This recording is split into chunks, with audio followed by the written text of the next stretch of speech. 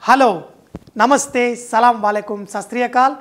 Welcome back to another session with your Vahchef at vahrehvah.com. Today we are going to learn how to make aloo baingan ki sabji that is potato and eggplant curry. Dear friends, today we are going to use onion tomato gravy. To make this tomato gravy is very easy. For this onion tomato gravy, you know I am going to take some oil. In this I am going to add onion. After sauteing it a little bit, just add some salt, add ginger garlic paste. If I take 1 kg of uh, onions, we are going to add 1 kg of tomatoes. Add turmeric, add chili powder, coriander powder. I have taken 1 kg of onion, 1 kg of tomatoes. For that 1 cup of chili powder, 1 cup of uh, coriander powder, just 1 tablespoon of uh, cumin powder. Don't need to add any water.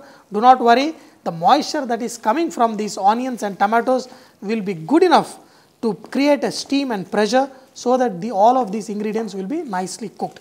Put the lid on. We are going to cook this for at least 15 to 20 minutes. This may take give around 6 to 7 whistles. Do not worry.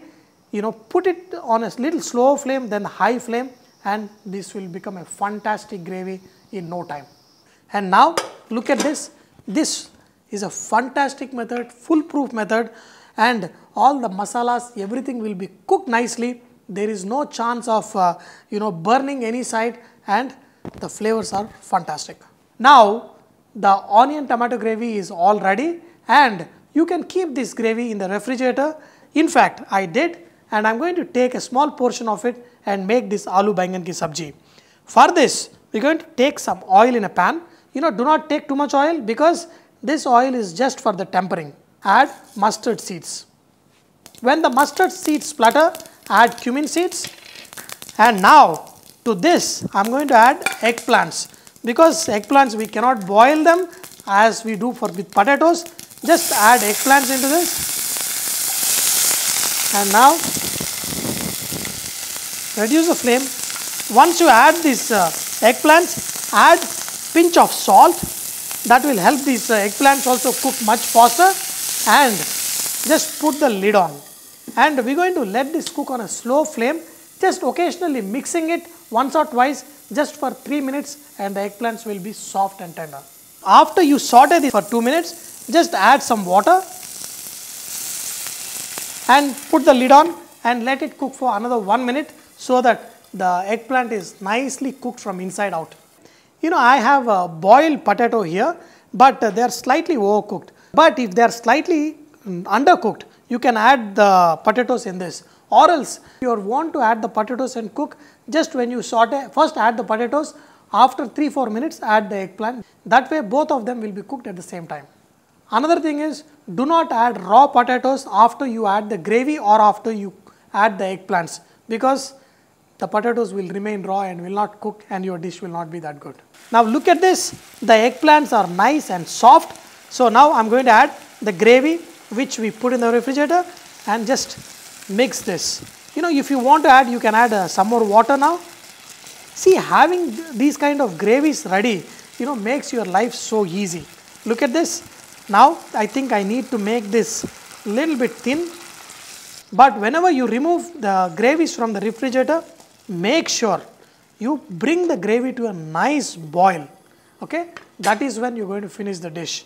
Now you know look at this the gravy is come to a nice boil. Now I am going to add these potatoes also you know because the potatoes are nicely cooked and I don't want them to be overcooked that's why I added them now. We have to bring this to a nice boil.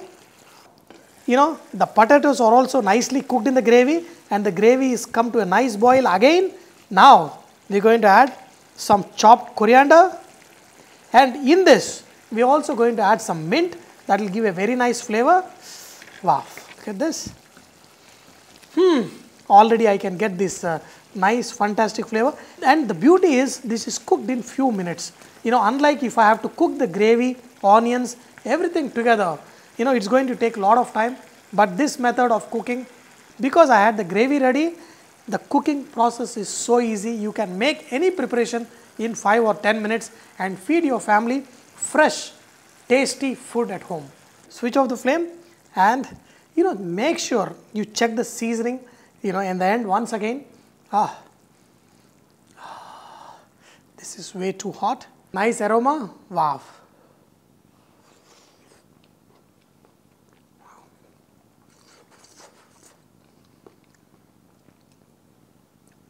Wow, wow, wow. You know, dear friends, when you make the eggplant curry this way, never keep it in the refrigerator. You know, now the eggplant, I just took a bite, you will not believe how nice and juicy it is.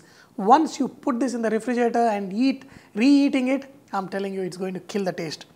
Dear friends, very fantastic dish. Once you have the gravy ready, you can make any dish in 5 minutes. But do not forget, Vahrehvah is all about inspiring others to cook. So please post your recipes and cooking tips at vahrehvah.com so others can benefit from your great cooking. Thank you.